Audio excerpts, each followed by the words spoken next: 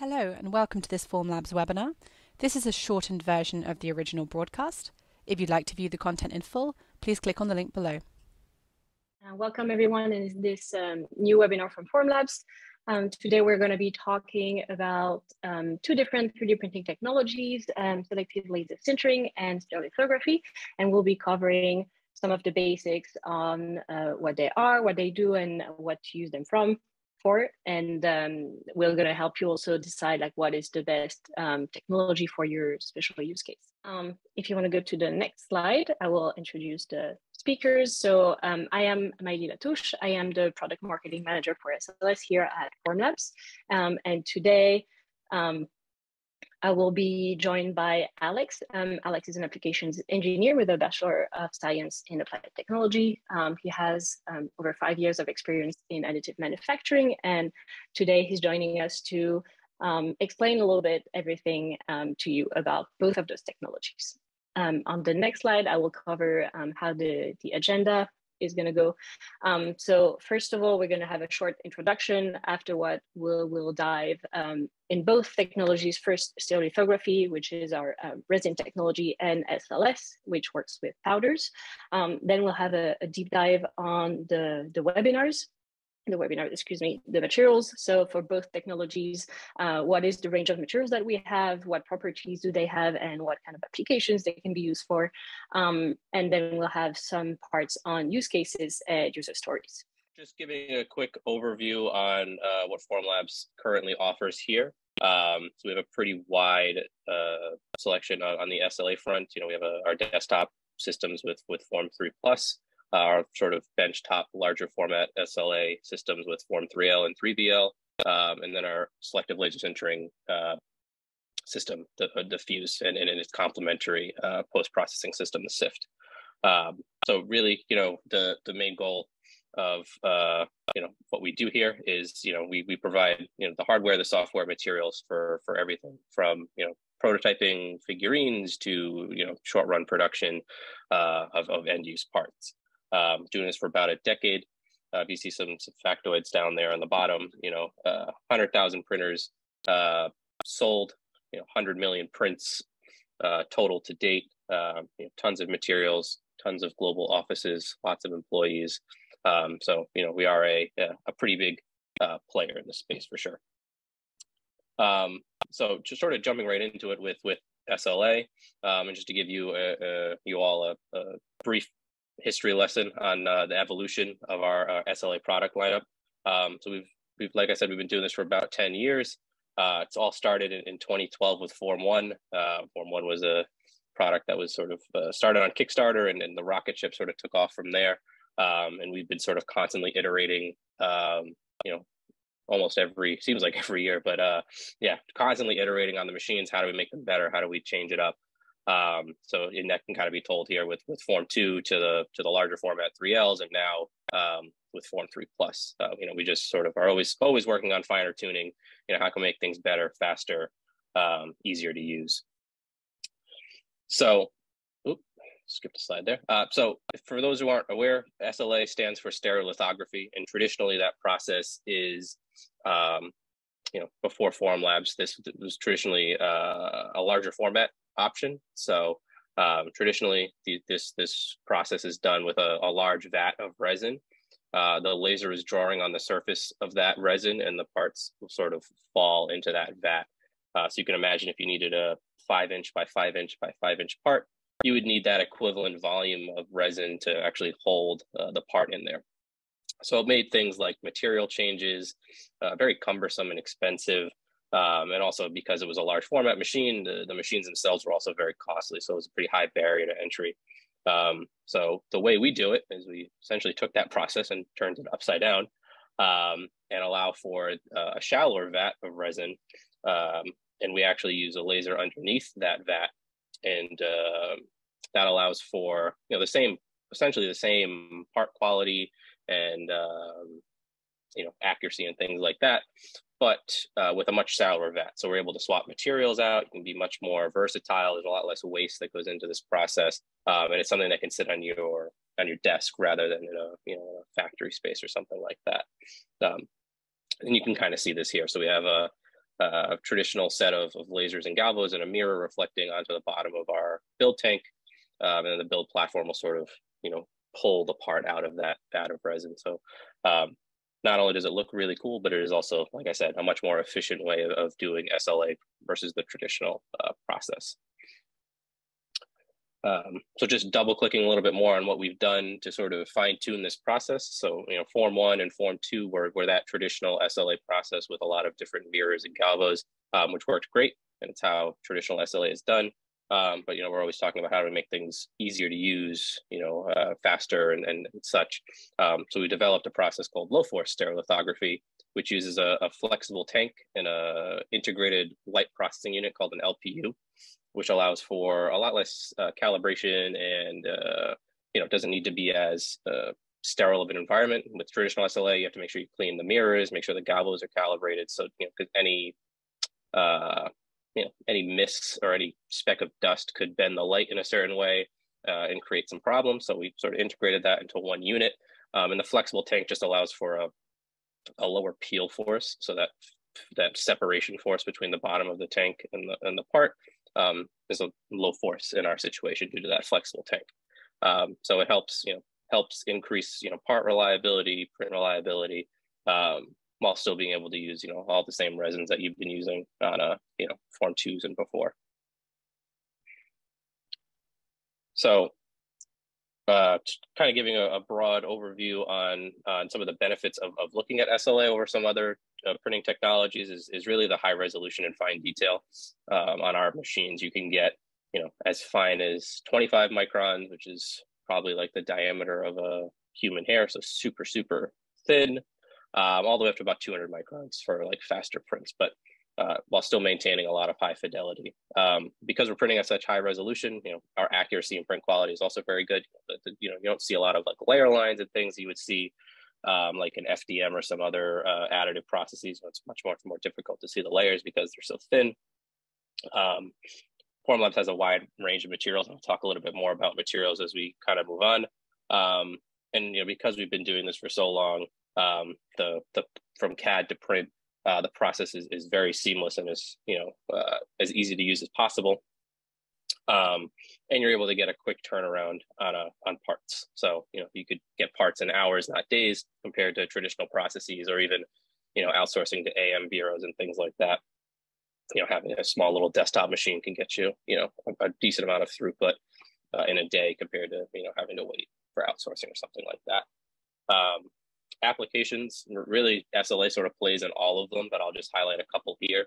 Um, the idea of prototyping, whether that's rapidly prototyping, kind of like what I mentioned before, with just being able to print part, parts, you know, faster than uh, you know outsourcing or something like that. Uh, but this idea of also functional prototyping, right? So not just the look and feel, but you know, how does something function in, in a real world environment? Um, you're able to do that, you know, on our system. Um, rapid tooling and manufacturing aids. This is a, a you know sort of a bread and butter uh, AM application, the idea of any kind of jig fixtures, test fit gauges, things like that. Um, you know, being able to to react and, and create those rapid toolings rather than uh, you know go through traditional means, you know, like CNC machining or something like that. Uh, you're able to just 3D print them. Not only 3D print them, you can make them uh, you know more ergonomic. You can make them lighter, um, which has a, another whole sort of uh, plethora of benefits outside of just being able to 3D print it. Um, dental, any kind of dental application. So, uh, you know, surgical guides, night guards, um, you know, dental models, things like that, impression molds um, can all be done on our system. We have a pretty wide, uh, you know, customer base in the dental space for that for a lot of those applications. Um, and then the idea of, of, any kind of medical model, um, so being able to do like pre-surgical planning, uh, printing out a you know anatomy of a a specific uh, patient and being able to surgery, you know, plan a surgery um, without having to sort of plan it on the fly while you're sort of in surgery, right? So being able to to sort of uh, print those models before, plan things out, which just makes um, the idea of like in this case, like a surgery would be much more smooth. You know, they they sort of done the planning on the on the you know, before they they go in. Um, jewelry prototyping and casting, we do have a, a, a, selection of castable wax resins. You can do anything from you know small jewelry to larger casting on like Form 3L um, can all be sort of achieved with our castable wax resin. So I sort of um, hinted on the workflow, but sort of just double clicking on it a little bit. Um, so really with any AM process, you need to produce a 3D file, whether that's uh, something you've downloaded off the internet or uh, developed yourself in, in, a, in, any sort of CAD program and you you'll export out of that CAD platform uh, an STL file, which is sort of the you know, bone standard uh, you know, file type for any additive process. Um, you then would take that STL file, put it into our, our print prep software, which is called Preform, which is free to use. You can download it today. Um, and that'll let you do everything from uh, selecting a material, layer resolution, um, support structure, support densities, all of that stuff can be done in a uh, in Preform, and it could be as automated or as uh, manual as you would like. We have sort of one-click print functions where it sets all of the orientation, the support structures all up for you, or you can go in and, and be more um, precise and select, you know, I want to orient it specifically this way. I want to put in my support structures in, in this specific uh, area and not in this area. So you can be as, you know, as granular or as automatic as you want. Um, you would then print the part, pretty self-explanatory, go to the printer, press print, um, and then post-processing. So for SLA, because it is sort of a liquid resin that we're curing, there's gonna be some residue on the part, so they'll need to be washed. Um, we typically use isopropyl alcohol to, to wash off the excess resin. Um, you then let the part dry and you can either uh, remove the supports at that point or cure the parts and remove the supports. It really depends on the, the part you're choosing and if there's any, uh, you know, you know, concerns about it being too difficult to remove support, something maybe after it's cured because, you know, because we're a single material process, um, the supports are as strong as the rest of the model. So um, you know, we've done a lot of work on like touch point design and things like that to make it as easy as possible. But um, you know, some customers still will take them off before they cure. So really depends on, on, on what you'd like to do. But um, you know, wash the parts and then you know cure the parts in our sort of uh, in this in this photo we have you know sort of dedicated solutions for for Form three. Only the same for for Form three. So speaking of Form 3, just wanted to hit on some key points about uh, Form 3 itself. So Form 3 is our, our desktop solution in the in the space. Um, it's really you know sort of the the main staple. So it's it's it's easy to you know swap materials. It has the the LFS technology that I talked about, um, and you're able to you know basically print anything any material that we have on the SLA front um, with you know the the ease of of a of a desktop system. Um, these machines can run, you know, like we like I show here talking about remote printing. So you can you can print, you know, upload these jobs remotely if they're on your network. Um, but you can also run them completely offline, which is you know for uh, you know c- customers that are using uh, more sensitive uh, you know IT. So like things like the Department of Defense and things like that. Um, you know they're able to run completely offline as well. But you know Form three really is sort of our, our main staple. It's the the sort of the one we've been doing for the longest, and it's on its you know fourth or fifth iteration, depending on how you look at it. Um, with with three plus, three plus um, had a couple of changes compared to Form three, mainly in how we uh, stabilize the laser system, uh, which helps with things like clears being more clear, um, as well as just you know overall print speed and uh, like support structure improvements were, were brought to three plus as well. Um, Form 3L is uh, the L stands for you know large format, right? Um, it's about five times the volume of uh, of a standard Form three, so really really sets itself apart for uh, you know larger parts, things like that, um, and in some cases, you know, multiple runs of smaller parts, um, just due to the to the larger format. Um, but with the same sort of uh, uptime and uh, minimal supervision that you'd get from from Form Three Plus as well. So uh, everything you like about Form Three, just just bigger. Um, and then we have the the dedicated uh, you know post processing steps, right? It's a it's a necessary step in SLA.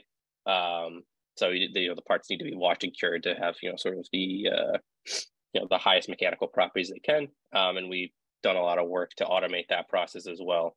Um, so Form Wash is an automated part washer. Um, you know, sets sort of a set and forget kind of thing. You know, typically uh, most of our resins will wash for about 10 minutes. Some are a little bit more, some are a little bit less. Really just depends on the resin, but you know, generally we'll call it a 10 minutes. Um, and then FormCure is the same thing. You know, we have preset functions for all of our resins, our whole resin library. Uh, pick the resin that you're currently printing with, and it runs its its uh, its cure cycle. We use a mixture of heat and UV to cure parts, um, and that can range anywhere between you know 10, 15 minutes up to like an hour. And again, that's really dependent on the uh, on the resin that you're using.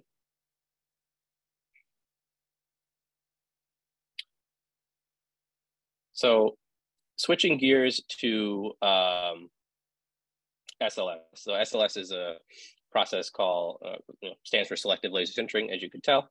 Um, it's sort of in the family of powder bed fusion, which is sort of just generally anything that uses a powder, whether that's metal or plastics, um, and fuses it together by some means.